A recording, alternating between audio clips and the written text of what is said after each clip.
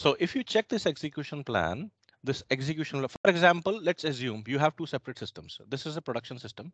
Uh, this is mm. UAT system, right? And where you're getting good performance. And you have another system that is your production system. The same SQL runs on your production system too, with same mm. set of bind variables and everything. So the the system is exact replica of each other. It's, so, it's only the case like the criticality. I mean, the other one is the your production system and the current one where the query is behaving good is your UAT system or any any lower environment, SIT UAT, whatever, right? Mm -hmm. Now, if you want to get, and for example, the same SQL is taking 15 minutes there, and now in uh, here in this system, in this lower environment, in UAT system, let's assume, it's taking hardly 10 seconds to complete, mm. right? And you do not see any, uh, you know, any method or a way how you can improve the performance of the SQL because there is a huge difference of the elapsed time between your lower system and the production, right? Production may leta 15 minutes and now here in this UAT, it's taking hardly 10 seconds. So what you can do, scroll down, go to outline data section. Mm -hmm. Yeah, okay, stop. Now, if you check, the outline data includes everything that was used by the optimizer here in this UAT environment where the query is performing good. Now mm. it's it actually contained everything. It has the, the third last outline data. If you if you check NLJ underscore batching, nested loop join batching has happened, and then it's actually asking optimizer to use nested loop use underscore NL and then leading is basically is a is a way how it the it recognizes the leading column or the leading edge of the index right?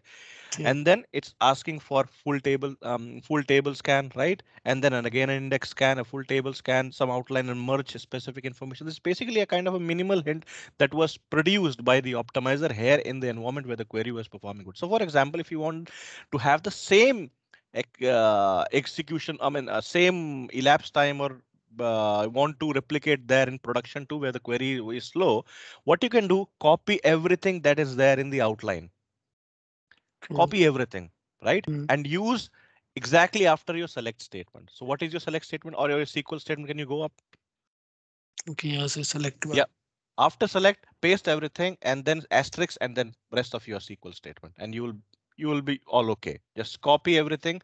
Now try to execute same SQL in production and you will get same elapsed time. Most, I mean, 99% you will get, uh, you know, the same elapsed time there.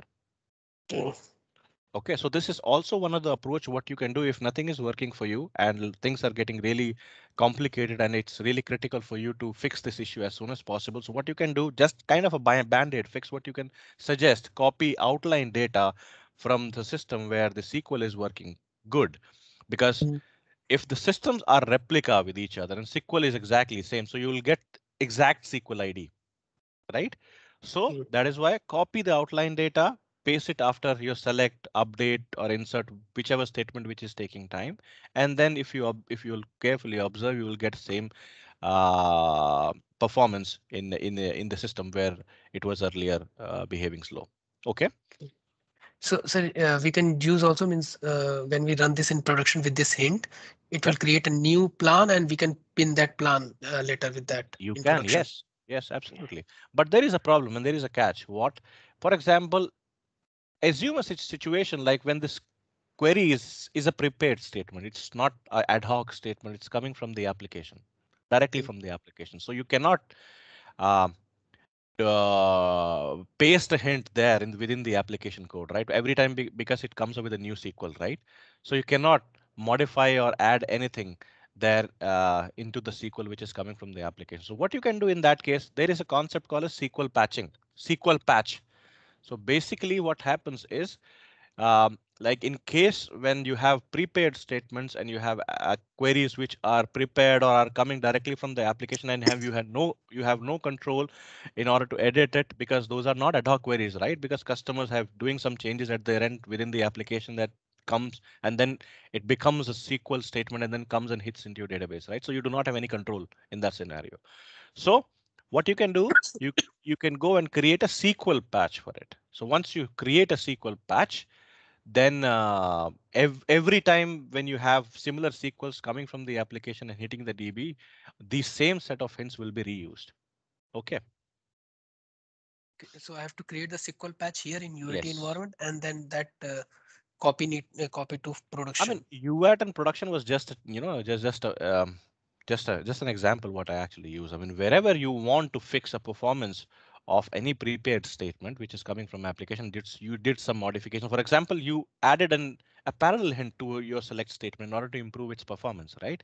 But mm. unfortunately, that that SQL is part of the application workload. It's that's that uh, that was not executed directly by uh, onto the database, right? So that is that always comes from the application. So you have no control, right? It's not possible to edit any uh, anyhow, right? Until unless application team goes and you know add that uh, that hint permanently into their code. But if that's mm-hmm. not that easy and that requires a lot of approvals and everything, what you can do, you can create a SQL patch in your database in order to stabilize, in order to uh, uh, get a static performance of that, a better performance. Like if you did everything, like you have finally you observed and you noticed, like the moment I add parallel hint to the SQL, uh, the elapsed time reduced by 80%, right? But mm. the SQL is part of the application workload. I mean, it's coming directly from the application through the middleware JBoss or whatever, or WebLogic.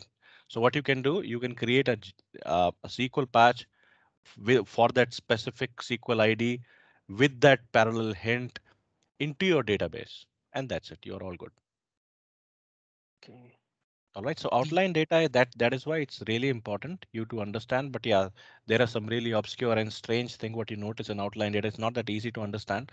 Like uh, if you take a look like NLJ underscore batching. So NLJ is basically nested loop join. If you check the execution plan, nested loop was there, right? So it's basically a method how it actually forces the uh, the optimizer forces um, uh, uh, the the query uh, to use the nested loop and batch it.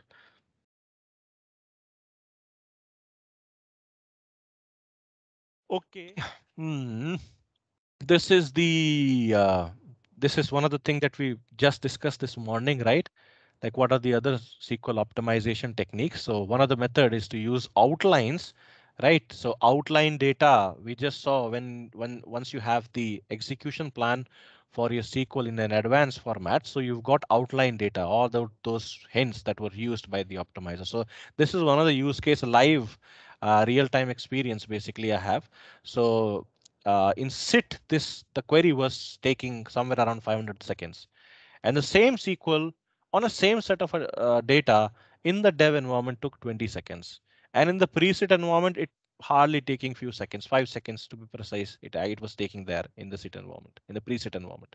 But in the sit, it was taking 500 seconds. So what we did, we basically generated the advanced level of execution plan, copied the outline data from the better performing environment. Like in pre-sit it it took only five seconds right? So we copied the outline data from that environment and then we tried with that select statement in the sit environment where it earlier taking 500 seconds. So this that's how. After select then paste everything that you have copied from the outline data from a good system right? And then do rest of the statement right? And you're all good. And we are able to uh, mimic or copy the same performance and the same behavior here in the pre uh, in the sit environment as well. So it started taking close to 505 or six seconds in in the sit environment too after this change. Okay.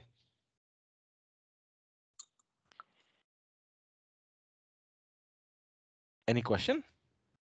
No, sir. Prashant, I can also do the same query, whatever I have shown you earlier, no? Yeah, yeah, absolutely.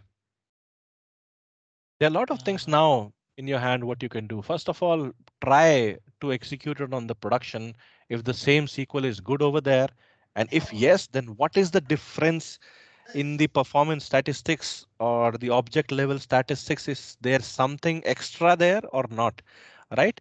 And second is check the wait event specific information, like on what event it frequently comes in waits and what is the using uh, you can use ash report or ash data. And if not, then you can also use a SQL, uh, real-time SQL monitoring as well, right?